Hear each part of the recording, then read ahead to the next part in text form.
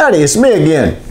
I figured it was time to stop picking on all those poor presidential hopefuls and get back to economics.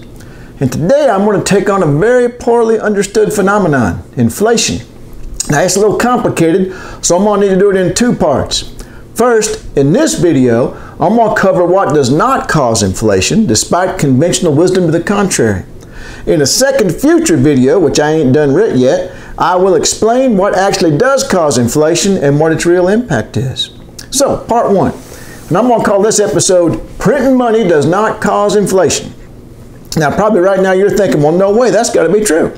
I mean, that was on one of the tablets brought down from Mount Sinai by Moses. Well, A, no, it wasn't. And B, I believe that by the end of this video, you'll have more than a few questions about the actual godliness of that old commandment. Now, if we're going to pick on this view, let's start at the top with an article I had to read in grad school because it was considered a classic. Milton Friedman's The Optimum Quantity of Money. Now, in setting up his model, Friedman makes the following assumptions, some implicitly, some explicitly. First, the economy is already at full employment. We are producing as much as we can possibly produce with given labor, capital, resources, and so on. Second, people like to hold some volume of cash in their savings for convenience and safety, and they are already holding that amount. Third, the supply of cash is under the complete control of some external authority. And there's, there's more assumptions and premises and so forth, but that's all we need for today. Now, let's say everything's going along just fine and suddenly a helicopter shows up. And this is a quote from the original paper. Let us suppose that one day a heliocopter flies over this community and drops an additional $1,000 in bills from the sky, which is, of course, hastily collected by the members of the community. Now recall Friedman's assumption that people are already holding as much cash as they want to hold.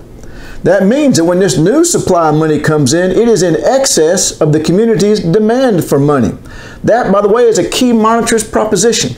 The idea that inflation results when the supply of money exceeds the demand for money. And we're going back to our story. Those people who have the excess cash will now try to get rid of it by spending it. But we already assumed we was at full employment, so there's nothing else to buy. We are producing at max capacity by assumption.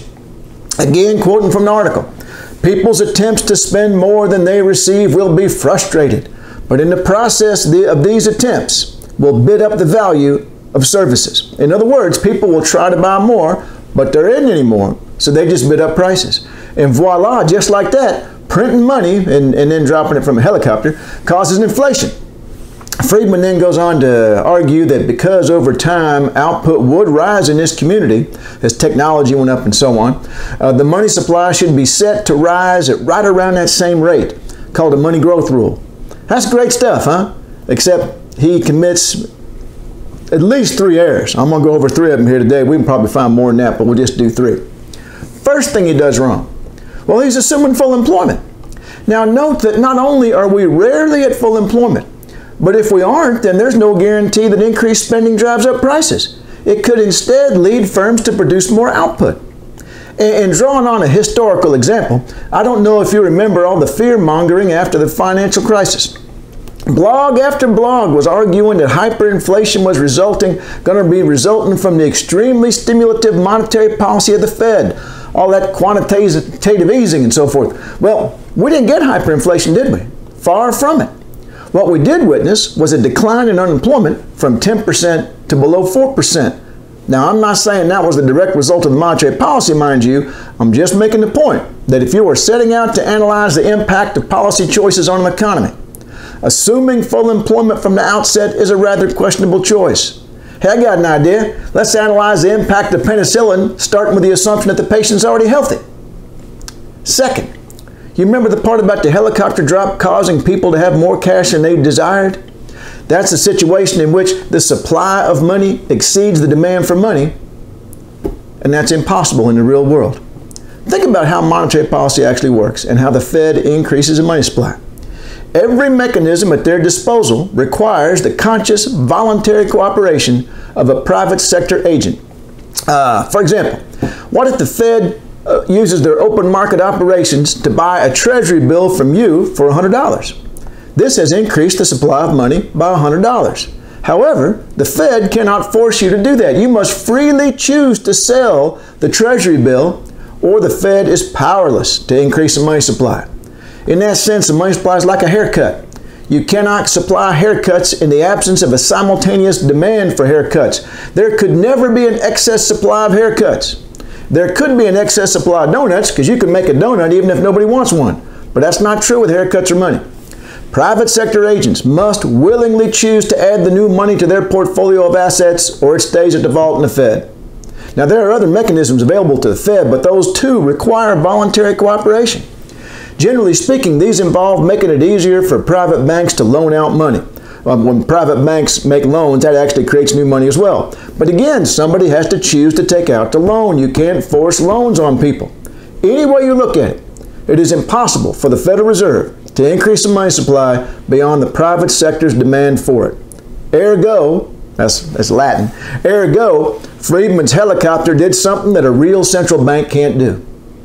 As a matter of fact, and here is the third and final nail in the coffin we're going to cover today, Friedman's helicopter isn't even engaging in monetary policy. It's actually undertaking fiscal policy. This is so because Friedman's helicopter raised people's incomes. That's what happens when the government cuts taxes or increases spending. Well, that's fiscal policy. And that's not what happens when the Fed increases the money supply. Monetary policy trades one asset for another, leaving total wealth and income the same. In my example above, where the Fed bought your Treasury bill for $100, you ended no richer than when you started. You just have cash now instead of a Treasury bill. Monetary policy cannot make you richer. It can only change the composition of the portfolio of your assets. If the helicopter had truly engaged in monetary policy, it would have needed a vacuum cleaner attached to it so that it could suck up an equivalent amount of people's financial assets once it dropped out the money. So the helicopter drop out the $1,000, but then simultaneously vacuum up, say, $1,000 in treasury bills. That's how monetary policy works. And in that event, there's no guarantee people spend more money because they're not any wealthier than when they started.